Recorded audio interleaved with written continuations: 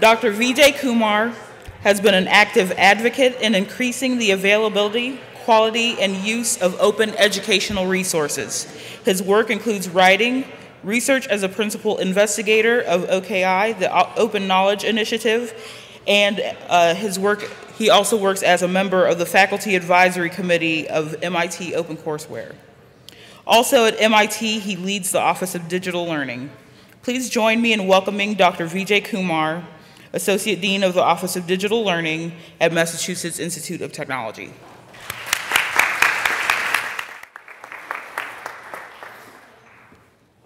Thank you. Good afternoon. that isn't me, as you can tell. um, I guess I have to defend MIT now after all the uh, wonderful comments that Michael made. But uh, I was struck what a, what a hard-hitting, uh, forward-thinking presentation that was. You know? It actually uh, took me off the zone that I was in in terms of my own talk. But that's good. You know, we always want to be there. Uh, first, I wanted to thank Michael, thank Jeff for inviting me to share some perspectives largely drawn from my experience at MIT but elsewhere also. A couple of things I always point out. Uh, uh, you know, I have been at MIT for 21 years. My preparation is as a chemical engineer, industrial management, lots of operations research, uh, but my doctoral work was in future studies in education. So I came into educational technology or digital learning not as a technologist, but as someone who was thinking uh, about how to generate or preferred futures for education and uh, so it was not surprising that uh, I had this bias for open education. And here in this room, I see a lot of my colleagues, I mean, folks that I have worked with before uh, in the realm of open education. And I must, I'm sure you share what I feel as I listen to, uh, you know, I have been associated with Saylor before, uh, the feeling that I get that uh, this thing has grown legs, you know, and a lot of us were involved in championing the potential value of open education and now sort of seeing its transformative uh, possibilities being realized in various ways, you know, whether it's reduce the cost of education, whether it's to provide extensive access. Uh, so it's really gratifying, and, I'm, I'm, I'm, and some of the things that I want to say really touch upon what was started several years ago as part of the open education movement. The, it is an opportune time. Uh, uh, it's an important time for all the reasons that Michael pointed out, you know, the need to move from uh, fragile to agile, which I thought was a very powerful statement. For all those reasons, uh, today the timing is uh, terrific. Um, the, uh, about a month ago, MIT, we launched something called the Jameel World Education Lab, and I'll be talking more about this but its intent is to actually spark a global renaissance in education. But it really draws upon all the kinds of things that we talk about. How can we make the affordances of digital learning, affordances of open education, uh, technology, uh, what we are learning uh, you know, contemporaneously about uh, learning science. How do you bring these forces together in a very aggregated, focused way to make large-scale change in education possible? So I'll, I'll, be saying more about that, and, but the timing of this and the, in, this invitation I thought was uh, uh, particularly terrific because of what's been happening at MIT recently. So the timing and the need and the case, I typically like to draw upon my demand-supply stuff. Uh, the, the, you know, and a lot of people today in, have made the case, you know, some of the, uh, when I was listening to presentation from the University of Maryland, other presenters, the various demand factors that make this an important moment in time. Uh, I know I work a lot in India, uh, you know, as, uh, with universities over there, with the Planning Commission over there, and the, India is a country which is sort of galloping for development, rapid development, and you need educated human resources in every sector, carpenters, electricians, and, and you know, as many people pointed out, our traditional institutions do not have the capability, the capacity to build or to develop those kinds of capabilities at the scale that they're required. So there's this rapid development agenda which drives this. Uh, there's a very, uh, the other thing about education which sort of got peripherally touched upon is the linkage between not the first job, but the earning profile of people who get higher education, who get credential, etc. Um, in fact, I'll, I'll go up. Uh, I was just in, in Sao Paulo last week, and I pulled up this data where, where there's both, both data about uh, America and also Brazil, where you look at university graduates earning on an average 2.5 times as much as those without degrees. So it's not about uh, the first job, but your progression, your earning capabilities that seem to be directly correlated uh, to higher education, to getting more and more educational opportunities. And this is, this is uh, not just a, a, phenomenon in the US over here, but in other countries also, as I was looking at OECD data.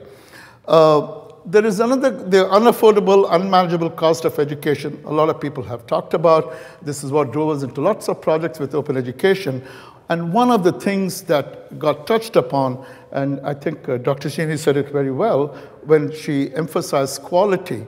One of the things that those of us who have been working a lot with open education have seen is, and this is, you know, I, am going to channel uh, John Daniels, you know, who talked about the fact that uh, before access, cost, and quality, the relationship between these factors was seen to be immutable, meaning uh, if you increased access, the general assumption was that the quality will dip.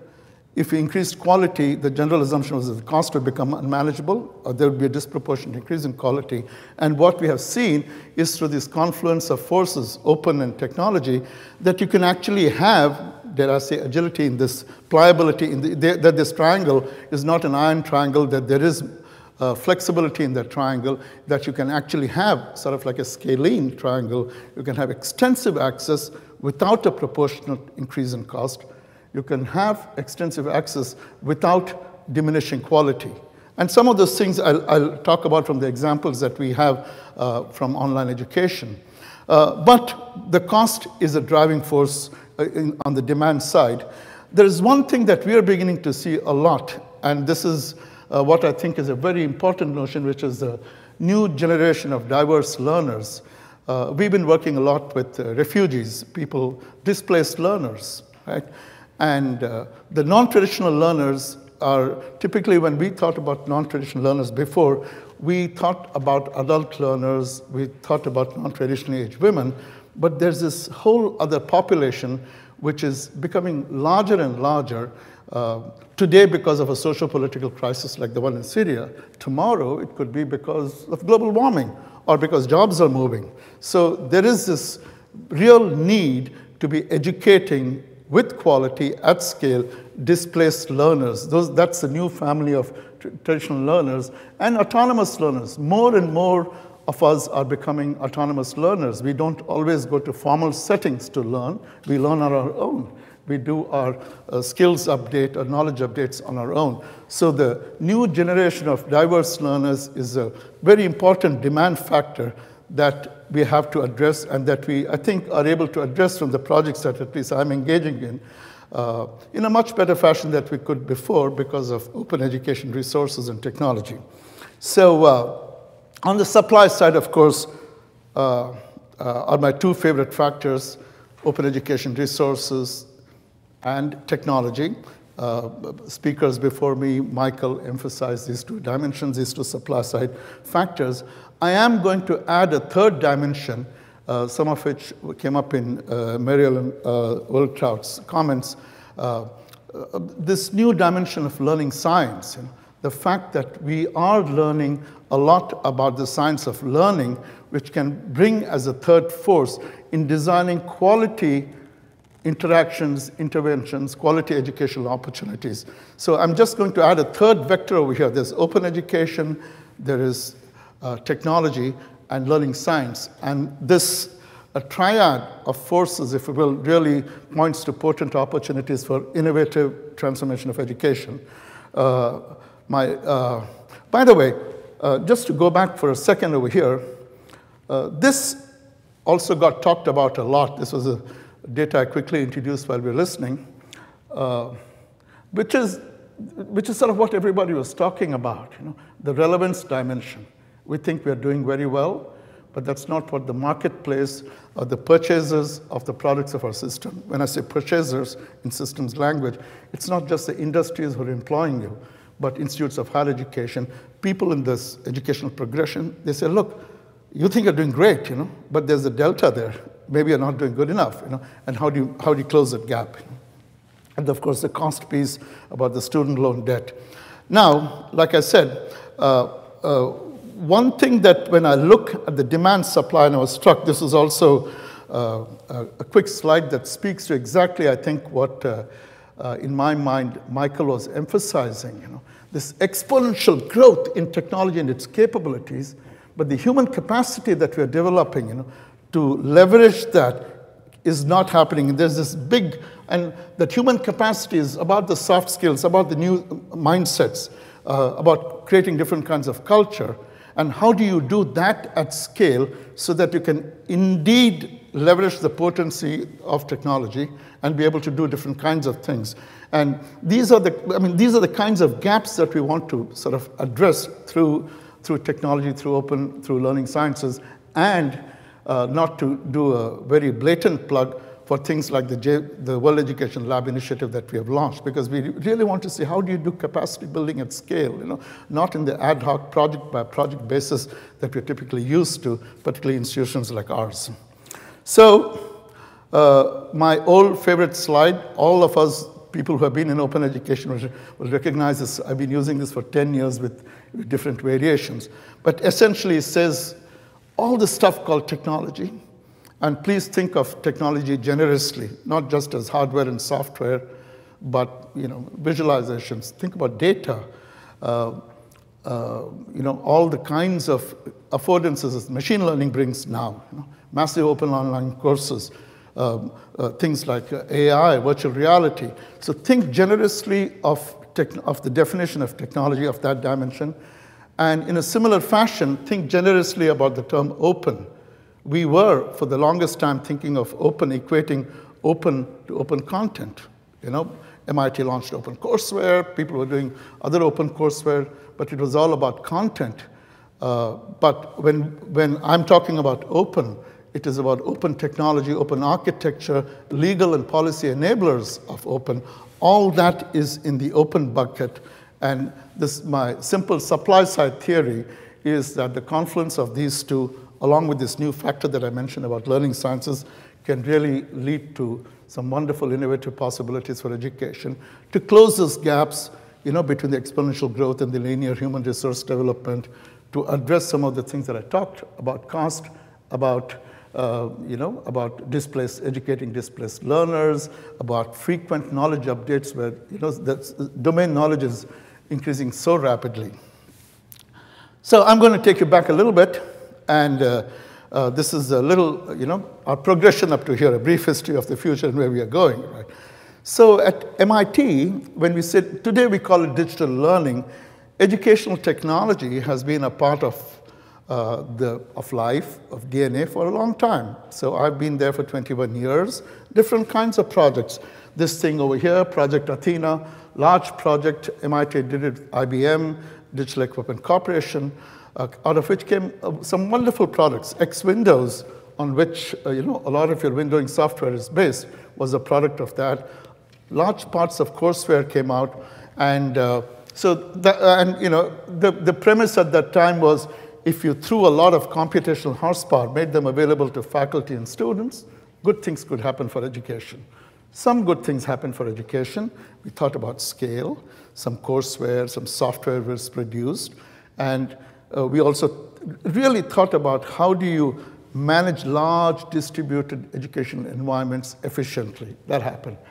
But other kinds of things happened over the, those 20 years. You know, physics interactive video tutorials, uh, Java applets for teaching concepts in math, simulations for deeper learning. So a variety of these things, technology-enabled, uh, which was the active learning, studio-based learning for physics, a lot of technology interventions, uh, supplements, uh, uh, innovations were introduced, some to build the infrastructure, some to take advantage of how the world was changing, some a lot for deeper learning of subjects and topics, and then some which was tied to MIT, some to extend what we knew about education to communities that we typically don't serve. So I point to this because I can draw a line between any of these projects to certain fundamental things that MIT believes in, if you look at this. One is that it has a, MIT places a lot of emphasis on active learning, hands-on, minds-on doing. So many of these so the core value that we really, MIT's motto is mens et manus, right? So doing active learning, minds on, hands on, is very central to MIT education. So when we think about education technology, digital learning, we want to make sure those principles are emphasized. So regardless of all the new affordances, we don't want to lose some invariance of quality. Hands-on active learning is an invariant of quality for us, and we try to preserve that. Another thing that we'd say is how can we bring the joy, the tools, the practice of research into undergraduate education. So many of these technology elements will be driven by that. A, an important dimension, and this has been going on for a long time, is we talk about saying how can we influence good educational practice? And I'm saying this with a lot of humility. Uh, this is not a, a technology imperative kind of statement. How can we influence good educational practice based on what we learn elsewhere in the world? So in the 60s, for instance, MIT was influential, and it worked with other institutions, the Ford Foundation, et cetera, to create the Indian Institute of Technology in India, the first one. I'm actually, I'm a product of that institute. Uh, our vice president for open learning, who, you know, who, who, who has championed a lot of the initiatives that we talk about, is from that institute. That was 60s. Uh, you fast forward to uh, 1999, to 2000, uh, MIT launched OpenCourseware. And it said, look, you can have the content of all its courses uh, available on the web for free to the world for education. And millions of users accessed it. And the intent was to say, look, uh, we can't, at that time in 1999, we don't know how to do uh, the kinds of quality things that we value online. But here you, we can take a picture of what goes on in our classrooms and we'll put it out there so that you can show you how we teach, so that from there you can use it as a model to develop curriculum, you can use it as supplemental materials, but the idea was to make our pedagogy, our educational resources to influence education elsewhere. That was then. Fast forward to 2012, we are doing that with edX, saying, you know, we have learned a thing or two about online education. We there's other stuff that's happening uh, with uh, learning science, etc. And we can actually do large-scale online blended or blended education without sacrificing quality. Okay? But the idea is to extend educational opportunities. So openness, extending educational opportunity, global education has been in the DNA, and we keep thinking about how to do it in different ways.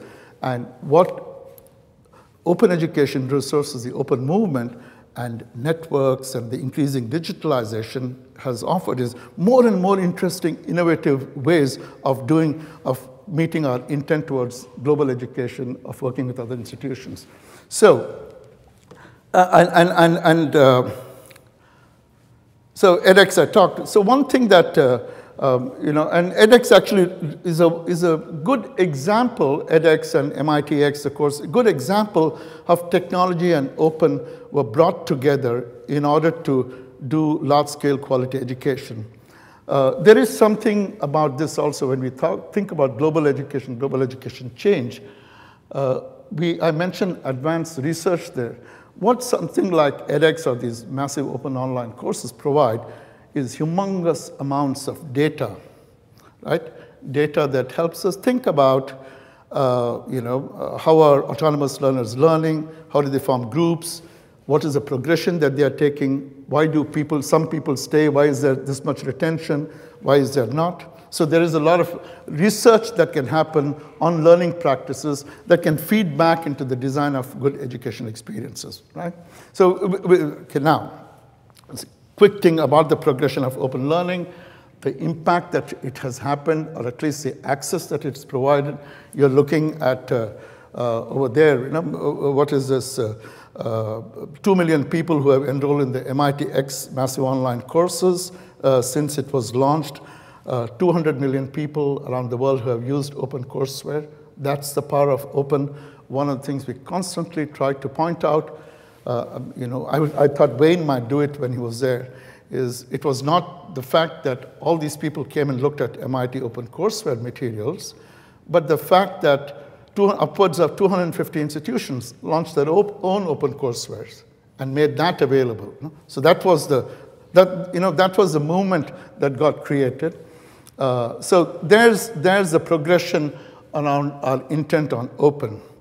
Uh, one thing I want to quickly say uh, that, uh, and this goes back to the quality point that was being made, when we think about uh, these online courses, open online courses, how we are really rethinking and quality. These are re-engineering exercises. This is not just taking something, and this is exactly what Mary does. They, there's, uh, you know, working with faculty or with her own courses or with her colleagues to, to take courses and re-engineer them so that they can really take in the affordances of technology and be able to deliver quality experiences at scale. So this is an introductory chemistry course that actually got blended. It was an edX course, and that was adopted for uh, residential use at MIT. So, and you can see it, it was largely online. All the assessments were online, but people took their exams in proctored settings. And there were some early results that were shared that I will, uh, that I will show you, which really pointed to why this could be a lovely thing in terms of quality. Uh, so you see this. Uh, this was data uh, on the outcomes in a particular course. If you look at the 2012 data, let's just let's look at a topic like atomic structure, a concept like atomic structure, the first, uh, uh, the first uh, vertical bar over there. Uh, if you see the blue bar in 2012, about 18 or 19 percent of the people mastered that concept. Okay, this was the pre-blended version of the course. If you look at 2013, uh, and you look at that same topic, atomic structure, about 89%, 90% of the students are mastering that particular concept. That gets us excited. So in this combination, there is something that is happening in the way this course has been re-engineered, this exercise. And it's not rocket science, you'll see, because uh, that some of this is happening. Uh, oops. It's not rocket science because one of the things that's happening in this design is that people are looking, uh, you know, there are online lectures, there are online assessments, they go, they go and do their proctored exam, and based on the results they go, they either go read up, they correct themselves, they, you know, so there's a lot of formative assessment that's happening, they're able to correct themselves and go back and do the tests it, it's a different randomized example uh, test that's been given to them. And what's happening is, it, this is like drill and practice in the old days. They're able to do that in time and be able to master the concepts. So this mix, what is it, what it's allowing us to do is really force or advanced mastery of concepts and topics. And it, it, seems very simple and trivial, but the fact that you're frequently testing people, allowing them to change, you're not using the testing to fail out people, but to correct themselves and be able to do it with the efficiency in that time is what's leading to results like this. And this gets us excited, meaning this is being done over millions of people in courses like this. So this is quality at scale. The, uh, so when I uh, think about it, why this combination of open and digital uh, and technology and what we're learning allows us to do uh, these remarkable things, why I get very optimistic about global education and meeting all these demands, is that what it's allowing us to do is innovate in every dimension of a course, you know, in how lectures are done, how homework is done, how exams are done, and how credentials are issued. So innovation is possible at each one of these which really, uh, uh, which really challenges and does away, disrupts all existing structural arrangements between the learner, the institution, the credentialing mechanism, and that allows us to really do quality things at scale for global education. And just to give you some standard examples, so, uh, so when we think about uh, um, an online course, you know, let's say the physics course, and there's a, so I might get a six minute video segment on a topic. Let's say this is an electromagnetism course. As soon as the video, uh, as soon as the video uh, lecture is over, I don't understand the concept. Immediately, I can have a visualization like this, you know, which allows me to imagine fields, which allows me to understand concepts of fields better. It, you know, it makes it clearer. So just in time, when I need clarification, I can get an elaboration, a simulation which explains the concept. So take another course. This is from Anand's uh, early, uh, Anant Agarwal is the guy who launched edX from his circuits course on edX. Uh, they do, there's a video segment, there's a concept, but immediately after that, there's a game-like environment that they can create to test the application of what they have learned. So they, they create this, they can test out, they learn, uh, they can quickly check whether they have learned the concepts or whether it is resistance or uh, Uh, uh, you know, uh, currents. The point is, that this application of a concept happens without latency. They learn a concept, they do not have to wait for six months or a lab at the end of two weeks. It is happening that time. So the latency between when they're exposed to a concept and applying it is reduced, right? So this is what is happening in construction. And then sometimes, like in these courses, immediately after you are expo exposed to a concept, you do an application, you can be tested in time, in real time, at that time. And then corrective measures can be made, or they can be sent off to different places to learn.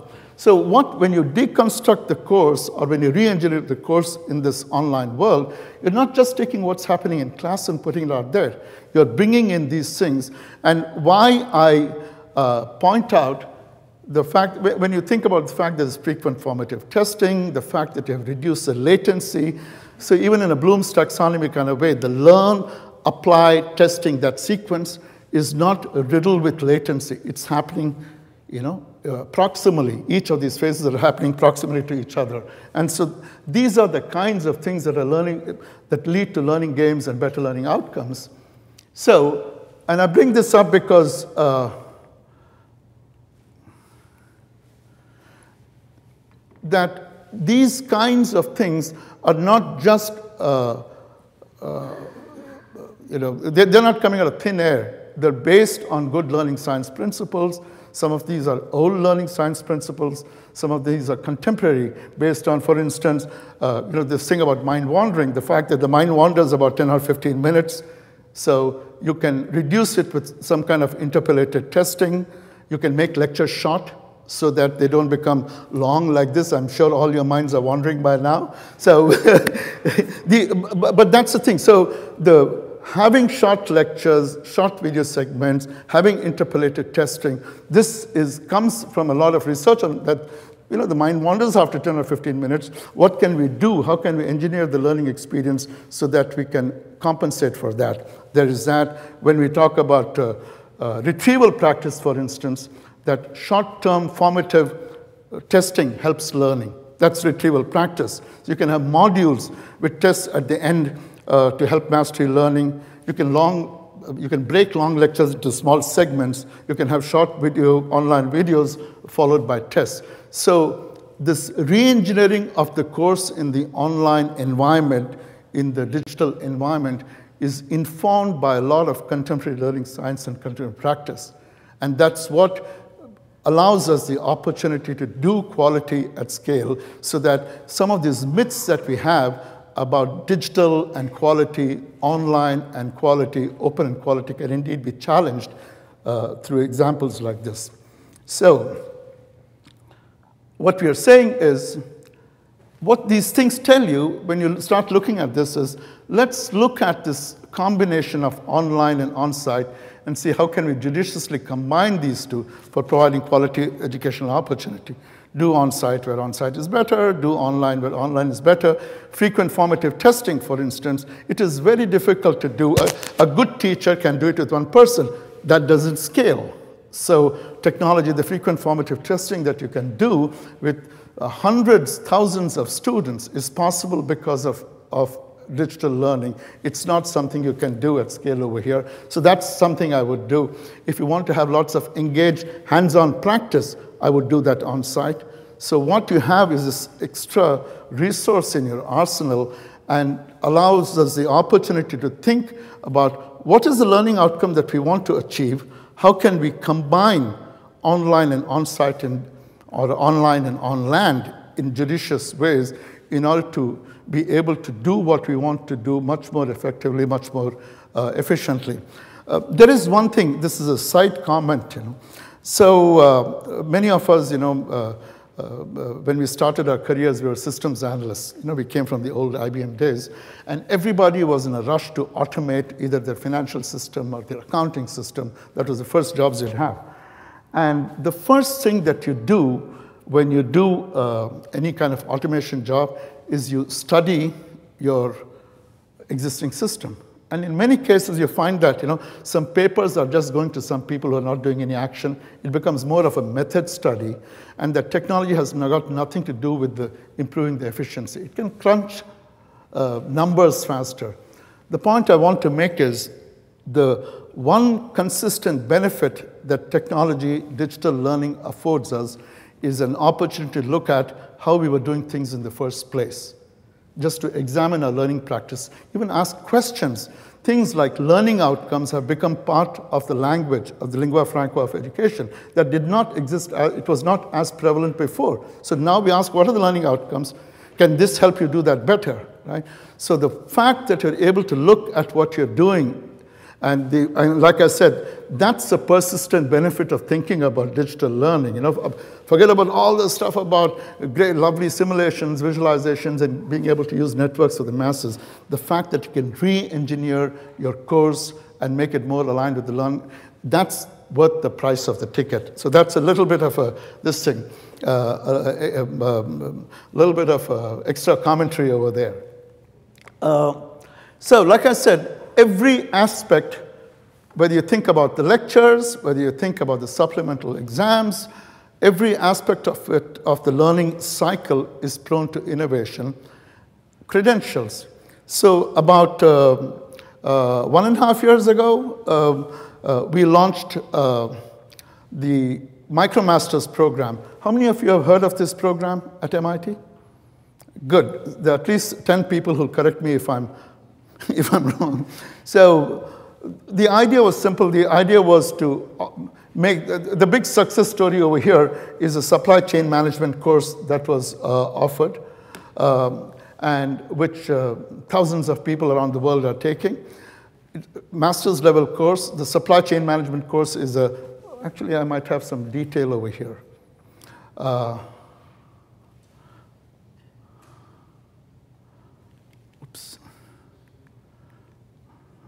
This seems to be stuck over here.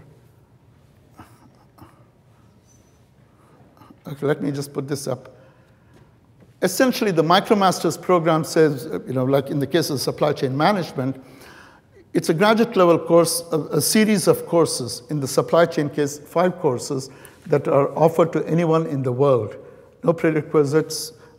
People who want it can take it, working professionals, etc. Everybody takes the course people who do, there are exams, when the, they take proctored exams, they get MITx credentials, so for taking the course.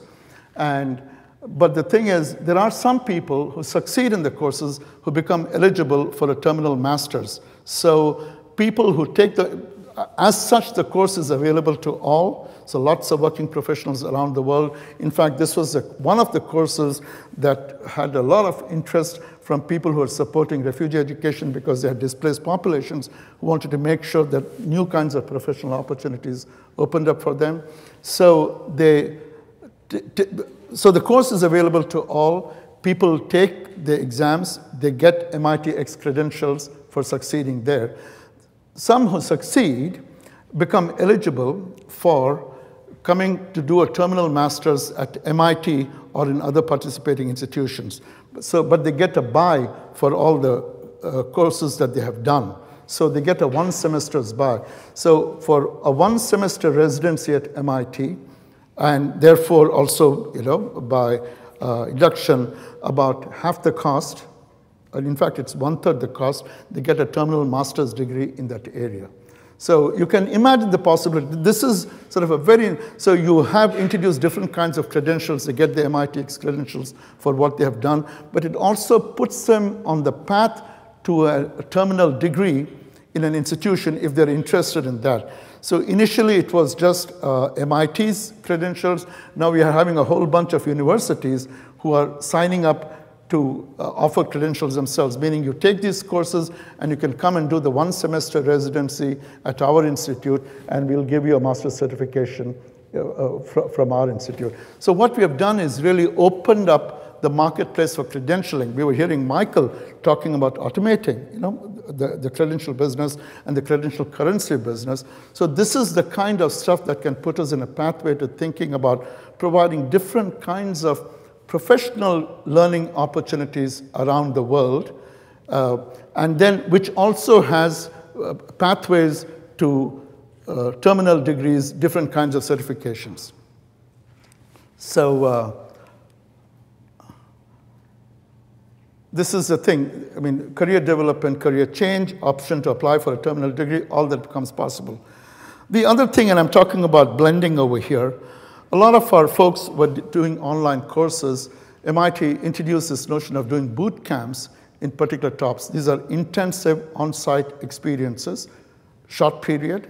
So they take a bunch of online courses, let's say on entrepreneurship, very popular topic, on innovation and entrepreneurship, now on Internet of Things, let's say, and then they come for an intensified two-week uh, session, very intense session, and it, I mean, uh, for intensive learning experiences are the boot camps, right?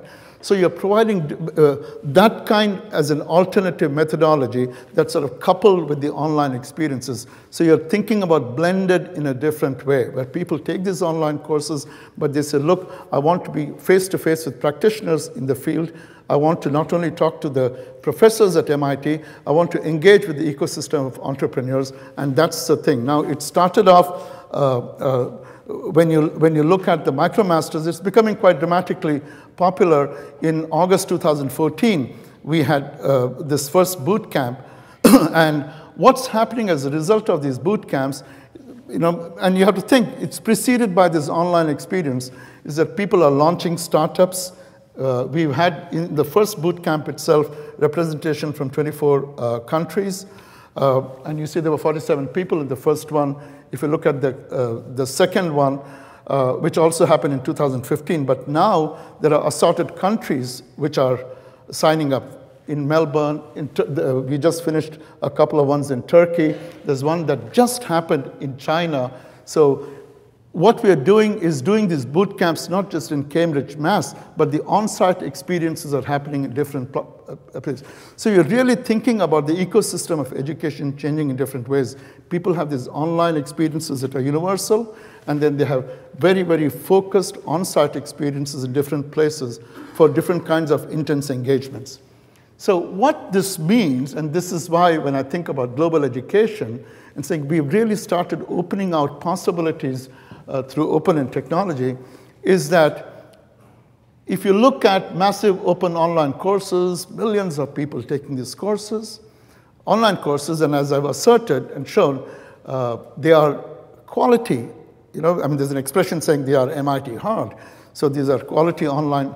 Then you have boot camps. You have things like MicroMasters, which says do these things online. You can get an MITx credential, but you can couple it with an on-site experience semester to get a degree.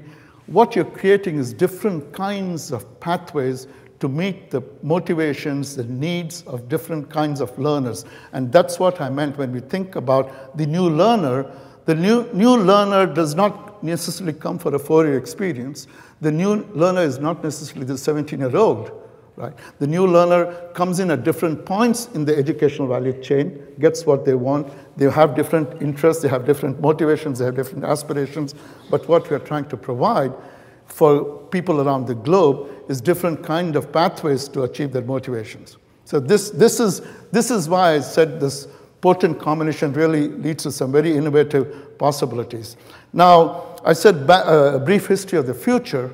This has been happening. What I've just described is the history, and this is all that happened the last two and a half years. You know, so you can see the rapidity with which it's happening. What preceded it? So, uh, I, you know, as uh, uh, uh my ex-boss, who's now the president of BU, Bob Brown, who was a provost, used to say, on reflection, it almost looks like we had a strategy. You know? So this is very interesting because about two years ago, three years ago, uh, our president, Rafael, said that, uh, you know, in five years, MIT education is not going to look anything like it does. You know? So we launched this task force uh, on the future of higher education. And the intent was to really, you know, there were three significant areas to say, look, and it was motivated by the fact, this increasing centrality of digital learning and open education, and saying, look, what does this mean for how we do education here residentially? What does it mean for, uh, uh, it, what does it mean for global education? And when you said global education, I was in the task force that worked on global education uh, along with uh, Sanjay, uh, who's our vice president. And global did not mean international alone. Global meant how does this change the nature of our engagement, remember ecosystem, with communities that we don't interact with lots? What does this mean for MIT's engagement with pre-K through 12 education? What does it mean for MIT's education with community colleges? What does it mean for MIT's education with non-formal education? So all, so that set the basis and so many of these initiatives were launched as a, uh, as a, you know, as an expression coming out of the recommendations. So for instance, you know, uh, when you look at this catalyze ongoing research, learning, and innovation about the future of, so we actually launched a large research initiative called the MIT Integrated Teaching Learning Initiative, which is really looking at, uh, and I'll show you a slide on that, looking at how are the foundational sciences, neuroscience, cognitive science, affecting brain science, affecting learning science, you know. Uh, what, what do we know about brain science that can influence how we address learning for dyslexic learners? You know? What does it mean for how we design uh, educational experiences over here? So there was, there was that. There was uh, the, these two I've highlighted. If you look at recommendations 7, 9, and 10, recommendation 9 led to a very, very significant acute engagement in K through 12 education. Now, we've always had, in, in fact, my colleague Claudia, she went and did a survey and pulled, there are 120 projects at MIT that touch K through 12 education, ad hoc projects like that. But we sort of said, look, let's really think about how MIT should engage centrally with pre-K through 12 education. We've launched initiatives coming out of that. Uh, when we talk about global education, some of these initiatives that we've launched. When I look at the recommendations, there were two dimensions that I wanted to pull out that all the recommendations point out, pointed out the need to be much more modular in our offerings. You know, modular not in terms of, modular you can look at it as disaggregation also. Concept-based modularity in the curriculum, modularity in programs, being able to package stuff so that you can, with agility, do combinatorials to serve different kinds of audiences and needs. And the notion of blurred boundaries, that uh, what we have thought about as very discrete and separate sectors, pre-K through 12, higher education, community colleges, MIT education, those membranes, those these things are much more permeable. Blurred boundaries became a very, very central notion, you know, when we think about. The point of that blurred boundaries was to really think about bidirectionality. This was not saying we got all this good stuff in MIT, here, have it, you know, but the interaction helped us modify our education, our learning practices. And that, so that dimension of global education, when we talk about open, I think, uh, Mary, you pointed out reuse, revise, re-edit, this redistribute. The open characteristics is a bidirectionality characteristic in the sense that when we engage, it is influencing how we think about learning at 02139 at MIT itself. So, that, so we, we have to be open to that change. So this is a research initiative that I mentioned, which is really bringing, uh, I like to think about this, you know, when I came to, this is the K through 12 efforts we have launched. Uh, the, one of the things that I like to think about is uh, when I look at the Integrated Teaching Learning Initiative, it's really looking at contemporary brain science, early childhood education, you know, and how it's affecting. And this is having such a dominant role in thinking about new learning experiences. So in the mid 80s, when I was doing my PhD, uh, the big forces were AI in education, the work that Minsky and Papert were doing at MIT, Logo, I, I taught Logo in Africa to, in elementary schools. But AI was such a big force at that time, thinking about intelligent tutors. And that's, that was my selective draw into education, into you know, thinking about education. It had such an influence of, on thinking about learning, Papert's work, Piaget's work. Today, what I see is the same kind of influence, same kind of effect being exercised by brain and brain science and cognitive science. You know? So we are, it's not just uh, the dramatic influence of technology and networks and open education, but we are learning a lot about brain science and cognitive science, how the brain works, you know, which is really allowing us to provide differentiated education in a variety of ways. So when we think about uh, global learning, uh, accessible learning, uh, the thing, and we, anytime, anywhere learning, when I think about anywhere learning, it is not just about, it's not a geographical statement about meeting learners where they are. It's about meeting learners where they are in terms of preparation. They come with differentiated motivations, preparation. How do you enable the success? How do you meet? And brain science, cognitive science is telling us a lot. Uh, and then the technology affordance comes in so that we can really address differentiated learners in different kinds of ways. There's an excellent project which I won't go into, give you a glimpse of, which is called Fly-by-Wire. Uh, Karen Wilcox is a professor in aeronautics, and she and I are co-PIs. It's a Department of Education project, which is really looking at the fact that uh, how do you provide uh, different kinds of education experiences for learners who come with different preparation and enable them uh, to succeed. And we are working with a, a, couple of community colleges, Arapahoe Community College in, in uh, Colorado and Quinsigamond in the, in, the, in, the, in the Boston area. So, like I said, the task force happened, lots of micromasters, lots of these initiatives happen. I'm just going to uh, uh, tell you very quickly about two initiatives that came out of this K through 12 global education. This is a project that we do in India. Uh, it's called CLIx, 1,100 schools in underserved schools. These are in rural areas. These are what in India we call government schools. And we're trying to look at, this is grades 8 through 12, trying to think about open resources, game-based teaching, and mapping it onto the science curriculum, uh, science, math, English, and uh, uh, uh we uh, are touching about 150,000 students, about 35,000 teachers.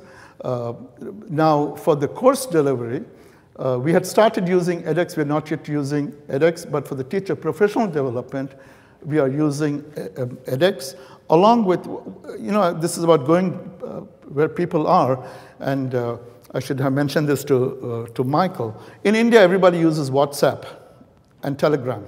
Right? That's where they live. So the teachers have their own forums on WhatsApp and Telegram. So although we are delivering uh, uh, segments through edX, you know, we are leveraging the forum of WhatsApp and Telegram and mapping it to edX uh, for the teacher professional development activity. The, the, so it's a, it's a very exciting initiative that we have launched. One of the things that we are learning from this project is if you really need this kind of change, it has to, there is an ecosystem involved. This is, uh, the anchor institution in India is, is a university called the Tata Institute for Social Sciences. This is funded by the Tata Trust. But there's an ecosystem of players. There's a group called Eklavya, which does science curriculum. There's a Tata Institute for Fundamental Research, which does math curriculum. Lots of players. And, and you need, just for these four states alone, you need a complex web of people in order to realize the potential of this change. So, uh, so I mean, and, and I really like to emphasize the point, you can have great curriculum, you can have great digital affordances, but the capacity building portion and you know, engaging different players in order to make lasting change is very important. Fly-by-wire that I mentioned, this is uh, the project with teachers. It's a, uh, uh, one word about, uh, about fly-by-wire. Uh, because it's a very interesting, uh, you know, enticing title. Like I said, Karen Wilcox is a professor of aeronautics, so the title is not uh, surprising. So when she conceived of the project, she said, look, you know, today most of the uh, flights, if they land, they'll, you know, they're automatically they land, right? So they said a pilot today is confronted with all kinds of data. There's lots of data, sensors, you know, from the various instrument panels, weather data, landing point data, this data, that data, data about each item in your plane. It's a very complex system. There's lots of data, and the pilot has to interpret all, the, the fact that there is data is good because, you know, it, it's telling you what you have to do, but the pilot has to interpret this data right? And make calls so that he or she can land this plane successfully under different kinds of adverse weather conditions, okay? So the analogy is a teacher is a pilot. Lots of data coming, analytics, performance data, this data, and how do I interpret the data and what kind of tools can I bring so that I can, lead, that can, I can take the student to successful learning experiences.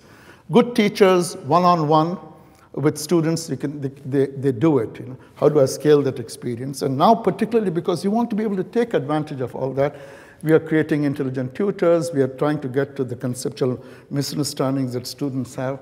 That's a fly-by-wire project. Would not have been possible without the kinds of digital tools, intelligent tutors that we have at our disposal today, the kind of open architecture that we have uh, which allows us to take advantage of different kinds of applications, the OKI kind of based open architecture, would not have been possible if we didn't think about pedagogy very, very seriously. Uh, so, my last thing over here, I started off by talking about the fact that we have launched the World Education Lab. Uh, we've been doing projects, global projects, employing digital technologies, you know, drawing upon, you know, our uh, scholars and instructors and like Mary, and we work with projects in India, uh, in uh, Bahrain, in Dubai, uh, launched places like the Singapore University of Technology and Design, projects. And we said, this is great, but we don't have enough of us to go and engage, right? And it's not sustaining from our perspective, and it's not sustainable, meaning you come and have that one time great interaction. What happens after that? That's one thing. And considering that the knowledge is changing, pedagogy is changing.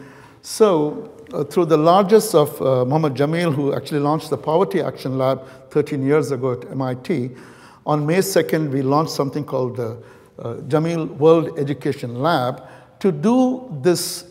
Uh, and the intent is to bring MIT's resources digital learning resources, pedagogies, faculty creativity in a very focused way to serve educational ends. So you see a lot of the assets, OpenCourseware, MITx, MicroMasters, and then the idea is to leverage them and then have collaboratives around pre-K through 12, around higher education, workplace learning in order to go towards the change that we want to do.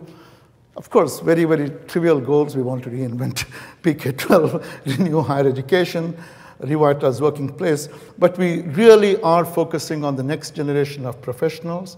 And there are some things that we are. We are looking at underserved audiences, emerging economies, developing countries as the primary focus areas, uh, which has been the aspiration for open education, getting to folks who are not, where, you know, who didn't typically have uh, quality access. Like I said, so it's the resources and the communities of collaboration, collaboration around each of these things. And what we want to do is engage people in this sort of flow. They came, come and explore the possibilities. They go through design, designing. It could be curriculum design, it could be institutional design, it could be blended learning design. And then they move towards reform of a program of the institution. So we want to take them through the chain. And so offerings, resources on the supply side, leveraging the communities around pre-K through 12, that, those are the collaboratives. And the third dimension of the JWL model is to have these weeks of learning. So remember I talked about boot camps. So this is sort of an analog. So three times a year, we want to have these very intense weeks of learning that members come. And they come for presentations on how do you design a blended learning course. They come on presentations on research briefings on, on you know, from learning sciences. They will come to do design workshops, and, they'll come, and this will be had three times a week. It's rhythmic. So we said, we will be providing online offerings. We have all that stuff. But we also want to have this on-site rhythmic set of experiences so that people can keep coming back to it. So people who become members of this can keep coming back for these experiences. Your policymakers might come, they might send the next cadre of people over for different kinds of experiences. So this is what we have launched as our next big step in saying, we have had OpenCourseware, we've had MicroMasters, we've got all these pieces. Now, how do we take this to another level to really impact uh, transformation at scale. This is sort of a picture of you know, what a week of learning might look like. We are hoping that the first week would happen uh, uh, sometime in October. Stay tuned. And I'm hoping that, you know, to invite some of you over there. And like I said, both because of the sponsor, the key sponsor so far, uh, and because of MIT's own predisposition, we're addressing some uh, you know, there's a lot of focus on these audiences, but the idea this is not just for outside. This is uh, education that's happening in our institution. So somebody wants to start a new science program. We say, look, this is the vehicle through which we will uh, will do that. Simple goals, and we, this we have preserved as a motto in all our efforts. So we want to really see how can we globally affect the world uh, through creating different kinds of learning experiences, potent learning experiences, and then through learning sciences, learning technologies, how can we really change the world of learning itself? So uh, uh, that's my story and uh, of change of global learning. And what's the line? And I'm sticking to it. I, I'm, I'm, very happy to have this opportunity. I hope I didn't lull all of you to sleep uh, at the same time. Uh, do I have 15 seconds? I do? So if I haven't lulled you to sleep, I think, first of all, thank you. I, I hope you can see the exciting journey that we're on in terms of global learning, that I've been able to connect uh, what we know about open and technology to, to global learning. But uh, the story some, that I'm about to tell, some of you might have heard before, but I'm compelled to say it because this is a post-lunch gathering and you've all been extremely kind and patient. And I did not see one person drop off. If you did, you were doing it, hiding it very well. But uh, I, am I am reminded of the challenge of sessions like this. Uh, many years ago, I worked in a small campus in the University of Maine system, right? In Machias. Most of you might not have heard of Machias. It's down east Maine. Those of you think there's one United States, go to down east Maine. it's, it's different. You know, it's the third poorest county. Washington County is the third poorest county uh, in the country. And I was involved in writing their, uh, uh, working with a group of people in developing a proposal for interactive telecommunications across the state for all the campuses. It's seven campus system. And uh, George Connick was the president of the Augusta campus. He was our leader.